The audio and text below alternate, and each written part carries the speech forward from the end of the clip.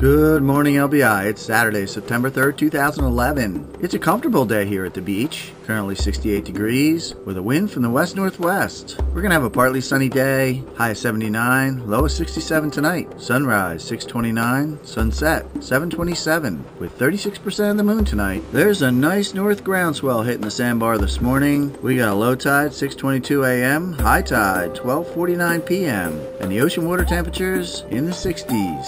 So come on down to the beach, get your toes in the sand, and enjoy this holiday weekend. Have a great day.